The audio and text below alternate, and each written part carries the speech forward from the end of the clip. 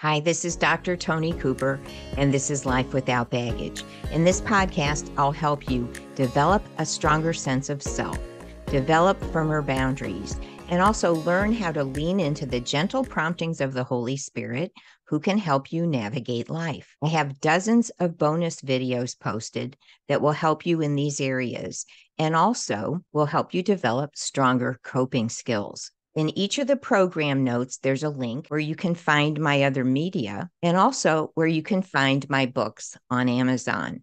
Just a reminder before we get into today's episode that this is not a substitute for medication or counseling.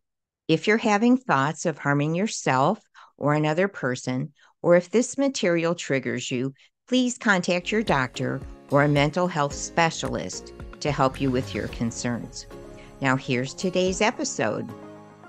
I like to regularly address concerns related to trauma since so many people have trauma in their background. So, today I'm interviewing an expert in the field of trauma. We're going to be talking about the physical effects on the body and the brain, the negative coping strategies that people might have gotten involved in, some strategies of how to cope differently, and some spiritual principles that can help us move through trauma as a person of faith. So I hope you'll enjoy this episode. So I have a guest today in this week's episode of Life Without Baggage. My guest is Jenniel Taylor. Welcome today. Thank you so much for having me. Let me uh, read your bio for my listeners. You have a very impressive bio. So, Jenniel is a psychotherapist, life coach, certified clinical trauma specialist, and the founder of Shades of Trauma Healing. She's passionate about helping adults heal from the impacts of childhood trauma so they can fully live out their purpose. As a coach, Jenniel utilizes talk therapy, spiritual applications, and somatic, which means body awareness interventions, to help clients understand how their trauma impacts them or keeps them stuck and unable to move forward. Jenniel embraces joy, playfulness, and laughter in her personal and professional life and encourage her friends and clients to do the same. That's right. and if you've listened to her podcast, she's very gentle, very soothing, but super informative.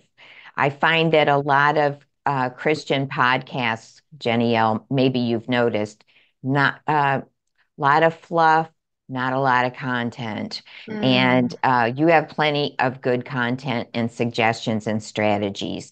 So I'm eager to hear what you're going to share with us. Your um, one of your specialties is more focusing, like we read, on the brain. And I don't talk mm-hmm. that much about the uh, physiology of trauma and what it does in the brain and the body. So, first of all, could you define for for us what is trauma? Thank you. I'm glad you asked that because I may have a slightly different perspective, not based on what trauma actually is, but based on how it is defined. A lot of the audience may hear of big T trauma, little t trauma, meaning the event that happened was something really drastic, for example, sexual abuse or domestic violence, versus little t trauma, which may or be someone shouting at you. I tend to not define trauma based on the event that happened. And there's a lot of research supporting this as well. Trauma is not so much what happened to you, but how you experience what happened to you. And to help with that, if anyone goes through an experience where fear is coupled with helplessness, that is the foundation of a trauma. So you may have a family where they go through the same experiences. The children experience maybe the dad shouting, yelling, but they come away with a different experience based on how they internalized it, how they felt. And it may be trauma traumatic for one person, but the other person it is not as traumatic or the impact is not as great. That's a good distinction. Uh, the word trauma gets thrown around quite a bit these days. Yes. And uh, something can be really uh, critical and life changing, but the level of trauma that we're talking about is um, it affects how you function. Exactly. So, do you want to uh, explain a little bit more about how trauma impacts people, uh, why maybe it affects people differently and what it does in the mm-hmm. brain? Sure. So it all depends on personality. It's it's such a, a wide array of reasons why people get affected differently. It can start with things like intergenerational trauma. What has my parents passed on to me? We know about epigenetics, where trauma actually changes the way your brain functions. It affects your DNA, and that is passed on to children as well. So, depending so, on what. Mm-hmm. Why don't you explain that? I have never explained that, and this might be a new concept for people. Okay, for sure. So, an example I would give, and I will talk about it more particularly because I tend to focus on this a lot with my clients. There is a part of the brain that's called the anterior cingulate of the cortex, and we call that the ACC for short. Mm-hmm. And if you are experiencing trauma, the ACC is meant to act as sort of your radar system to tell what is relevant to you if someone grew up in an environment where someone constantly shouted at them or they were neglected emotionally, they were physically abused, that part of the brain, the ACC, begins to zone in on those experiences because that is what is most relevant to you to keep you safe. If someone comes along and tells you, You're such a lovely child, I enjoy spending time with you, that goes right over their head because that is not relevant for their safety. So whatever that ACC begins to notice as a threat to the person is what is going to inform the way they begin to think, what they hear. What other changes are common in the brain? Other changes include the inability to see the positive things because again, you're just focused on what is a threat to you. You have, when someone is triggered, you have the chemicals being released in the brain, whether it's dopamine, there's GABA, there's adrenaline. The brain naturally releases these things more frequently and quicker than someone who has not gone through trauma because the body and the brain's full function is to keep you safe.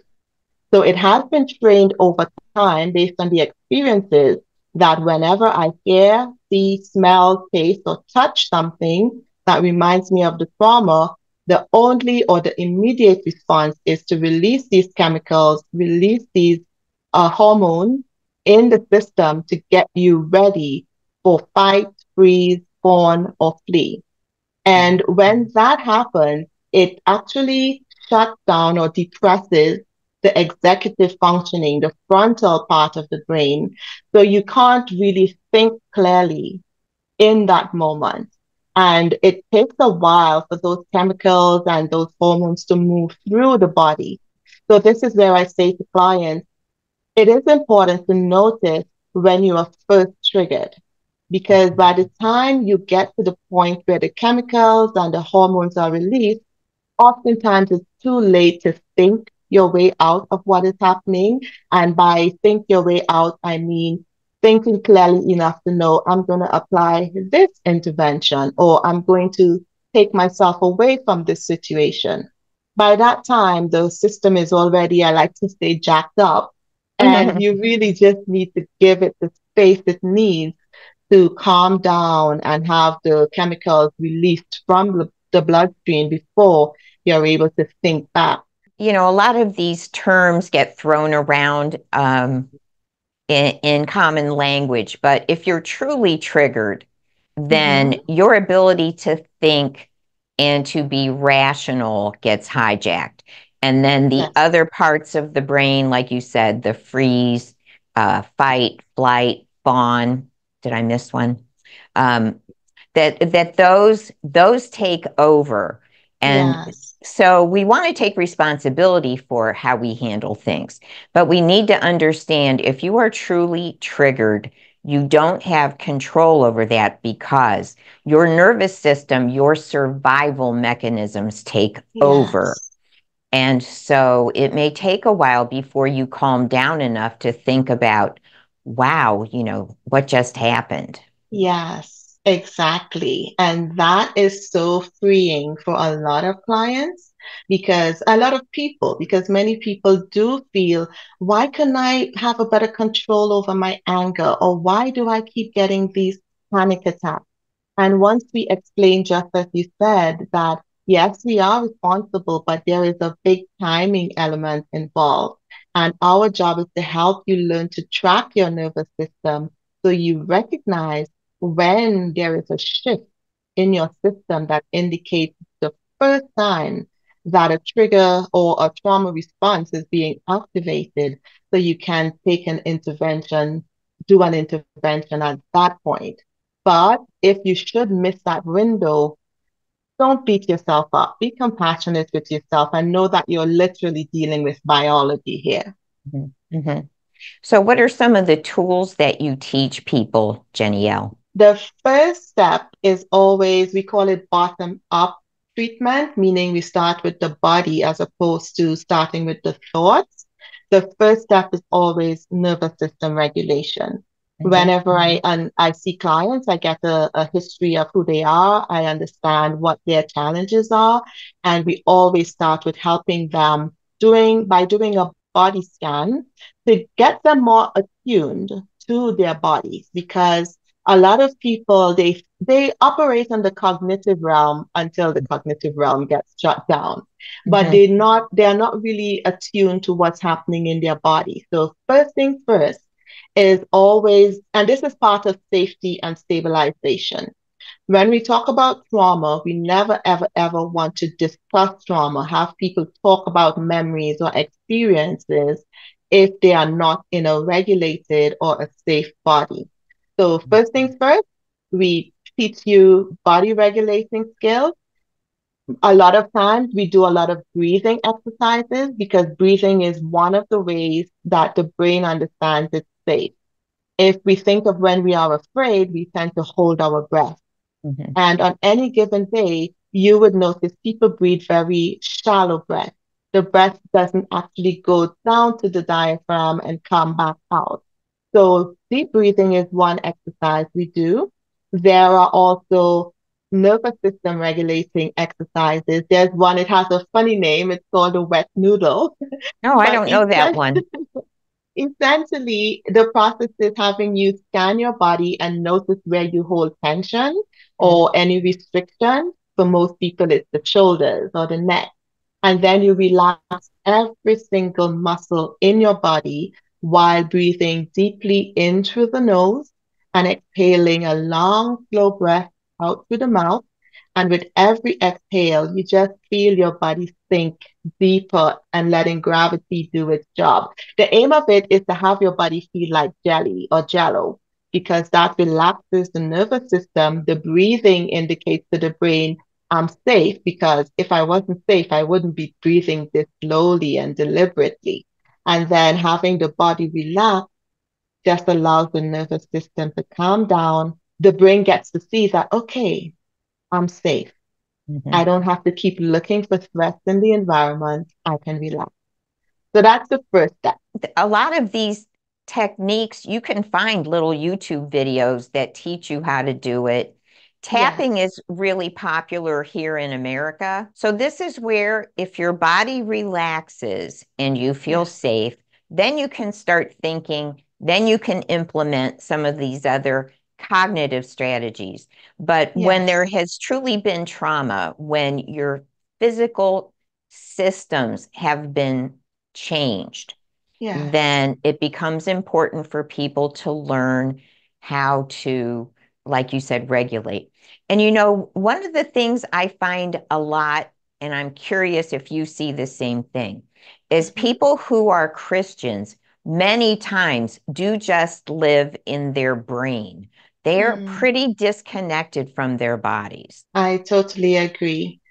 I do find that a lot, which is probably why I'm so passionate about somatic work, because mm. somewhere along the line, the message came through that anything to do with the body is not Christian.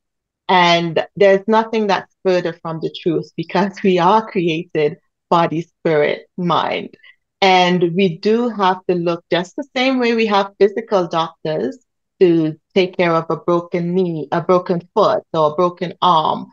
We do have a nervous system. It's part of our function.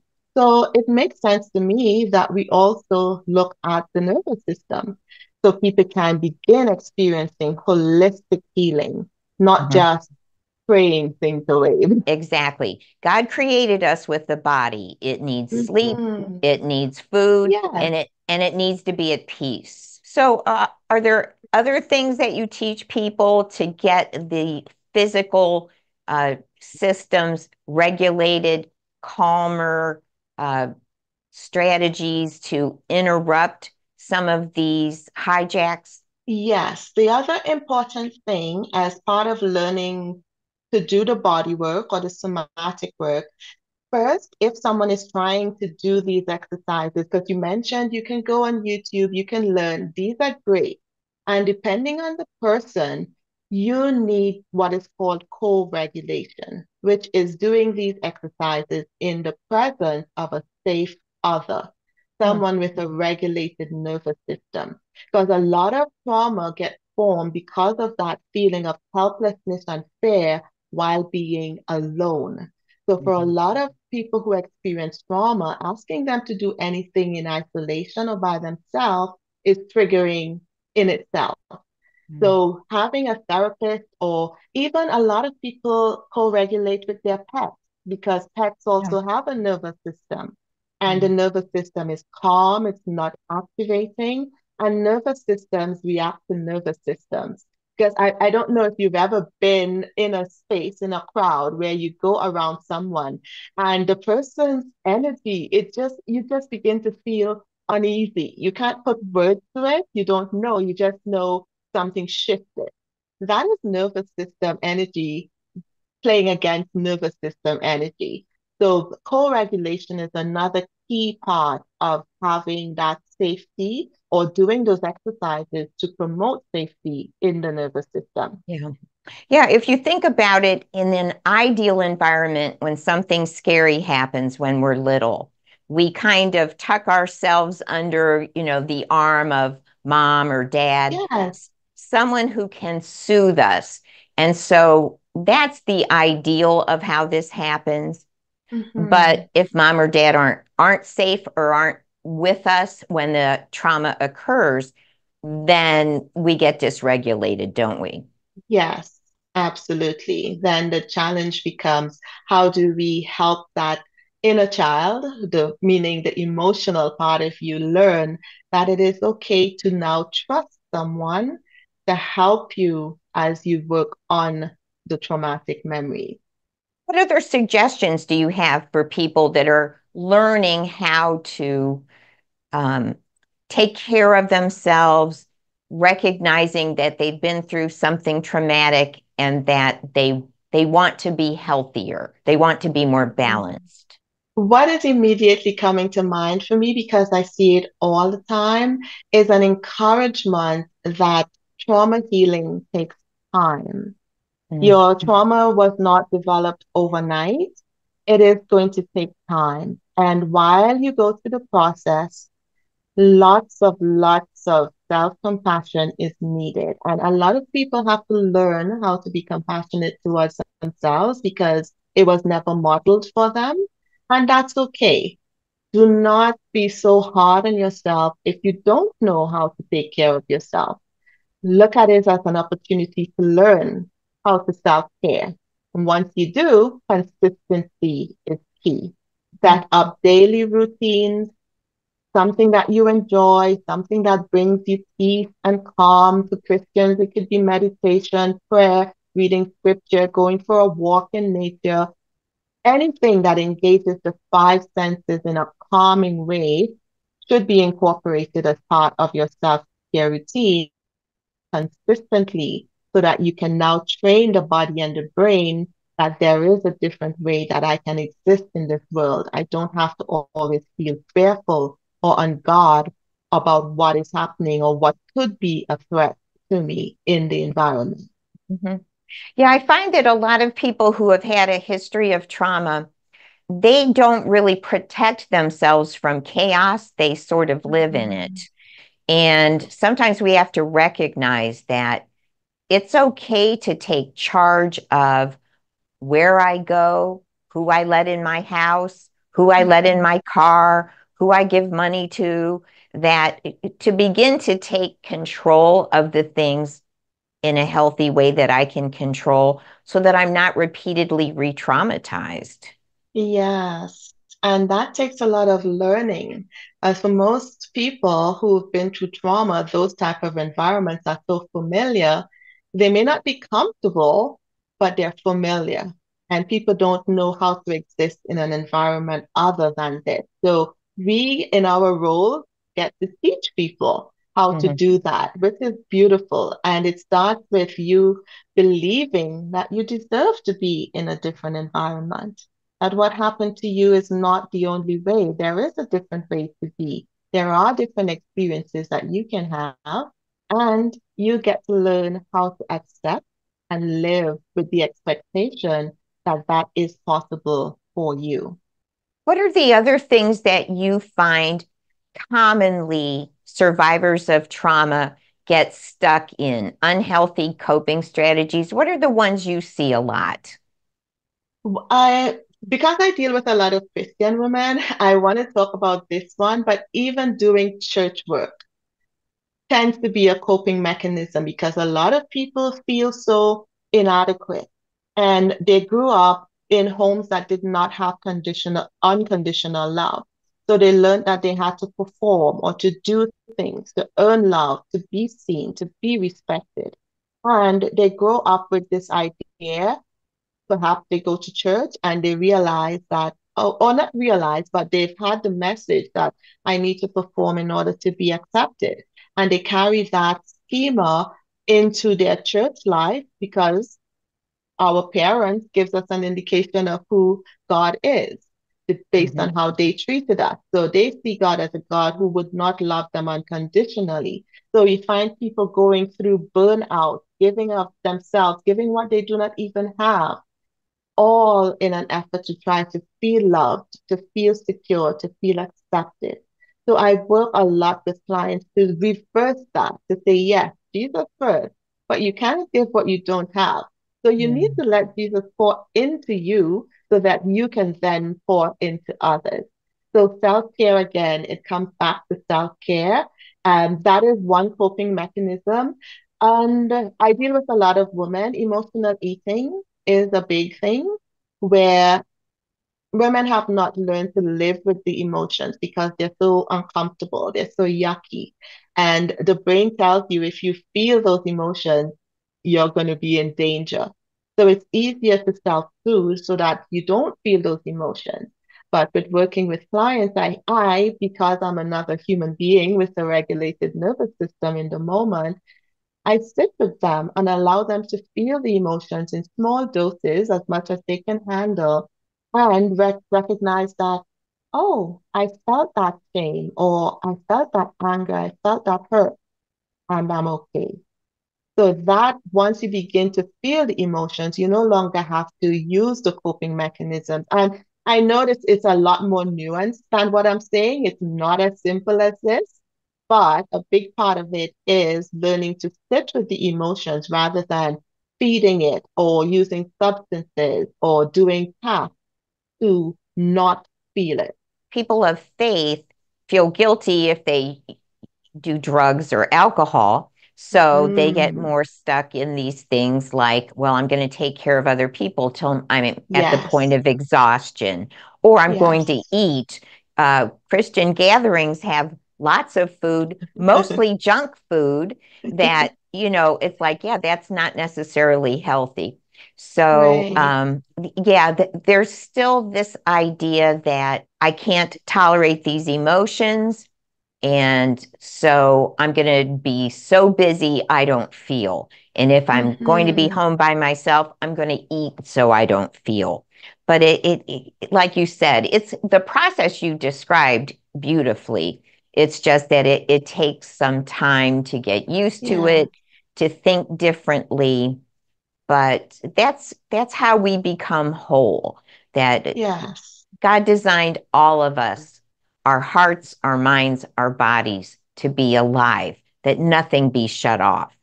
And again, it's learning to get to that space of sitting with a little discomfort and expanding the window of tolerance until you feel life fully. I haven't always been one you read in my bio who ex- uh, embraces joy and play. I've not always been like that. I didn't always feel my emotions, but by doing inner child work and for those who don't know, inner child work is simply allowing your emotional self to come forth, essentially feel your feelings in a safe environment. And once I began to do that, there was such freedom in the ability to feel joy, in addition to all of the other feelings that came out of my trauma history. So now I'm able to sit better. It's not 100% of the time. There are moments I would catch myself reverting to watching TV or eating something.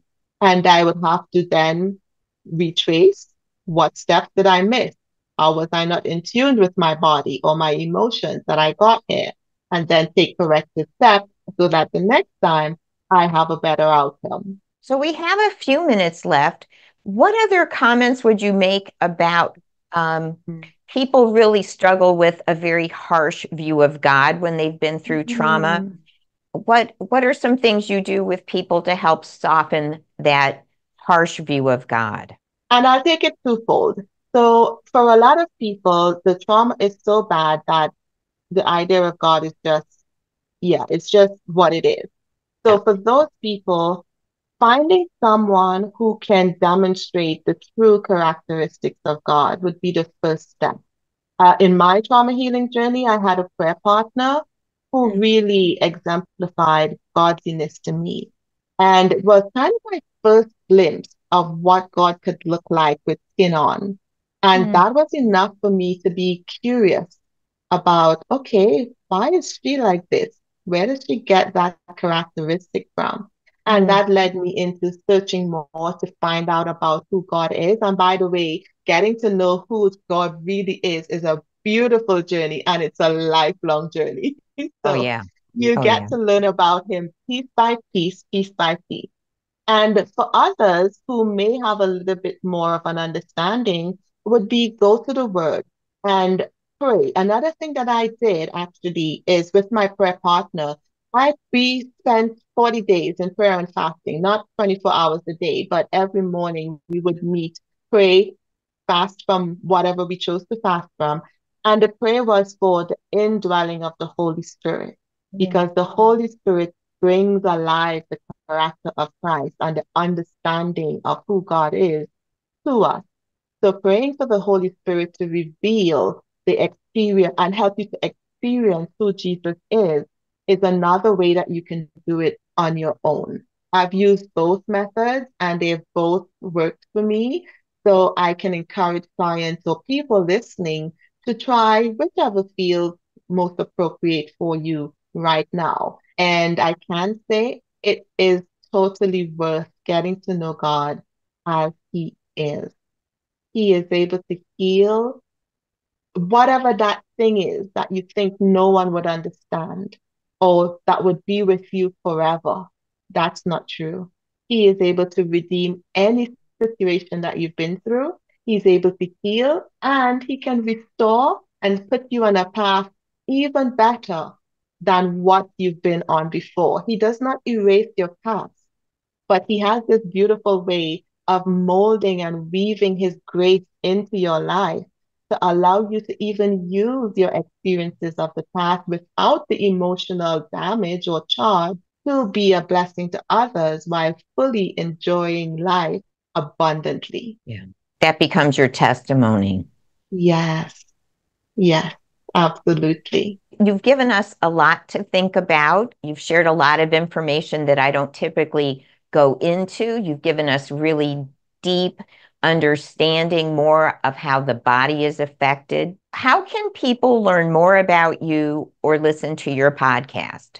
Okay, so my podcast is called the Shades of Trauma Healing Podcast, and it is on all the major platforms Apple, Spotify, Google.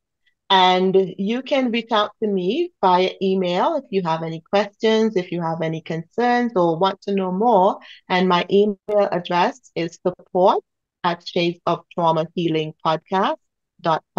And I will put a link to your podcast so people can check it out. Brilliant. Thank you so much. Thank you for taking your time and explaining these things to us. Clearly, you've done a tremendous amount of study on brain physiology, which I don't find to be as interesting. but it's okay. it's important, isn't it? It's mm-hmm. really important to understand because that's one of the ways people get stuck. Yes. Yes, I agree. Well, blessings on you and on your work. And what city are you in? You're in Canada, aren't you? Yes, I'm in Alberta, Canada, which is the western side. It's interesting because in different parts of the United States and even different parts of North America, the emphasis on how things are treated or the uh, techniques or strategies vary just a little bit. So I always enjoy learning from other people, like what is their emphasis to handle some of these things. Well, thank you so much. Blessings. And thank you to those of you who listened today to the podcast. If this helped you, share it with a friend.